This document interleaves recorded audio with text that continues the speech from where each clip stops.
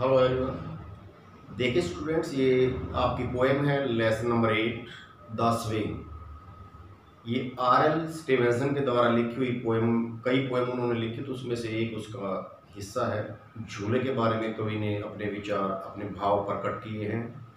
इसमें आपने जानना है कि आपने पार्क में देखा होगा, बच्चों के पार्क में एक झूला होता है।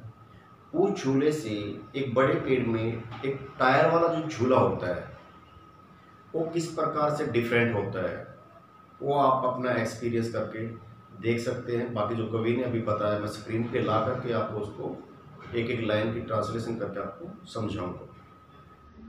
ये है आपके सामने स्क्रीन पर आर एल स्टीवेंसन के द्वारा लिखी हुई एक बेहतरीन poem how do you like to go up in a swing आपको कैसा लगता है आप झूले पे जब ऊपर जाते हैं? Up in the air so blue जब हवा में आप नीले आसमान में खो जाते तो कैसा लगता है? ओ I do think it is pleasantest thing अरे हाँ मुझे तो लगता है कि बहुत ही सुखद, बहुत ही प्लीजेंट कर देने वाली जो चीज़ है, वो है ever a child can do यहाँ तक कि बच्चा भी इस काम को कर सकता है, कवि कहता है। Up in the air and over the wall हवा में ऊपर और दीवार के ऊपर से जब झूले झूलते हैं till I can see so wide जब तक कि मैं बहुत मतलब एक खुला मैदान, एक फैली हुई जगह नहीं दिखाई देती। मतलब दीवार के ऊपर से तो झूला झूलेंगे, जब आप झूले में बहुत ऊंचाई पर होते हैं तो बहुत दूर दूर की, बहुत फैला हुआ, बहुत बड़ा एरिया आप देख पाते हैं।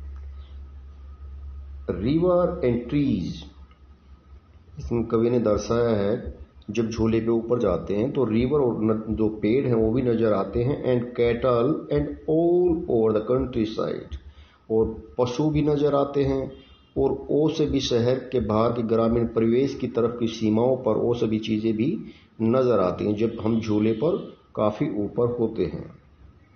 Till I look down on the green garden जब तक कि हम नीचे ग्रीन गार्डन पर नहीं देख लेते हैं down on the roof so brown तो हमारी जो रूफ है, छत है, वो बड़ी ब्राउन नज़र आती है।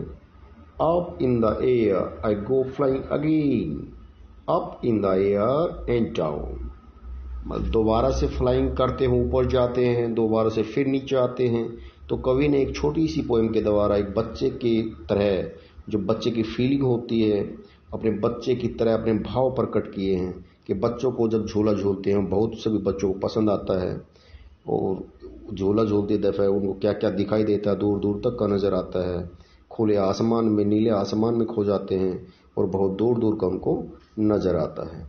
तो ये एक छोटी सी पोएम थी जो आर एल स्टेवेंसन की है। ये अभी सभी बच्चों को पसंद आई होगी। Thank you very much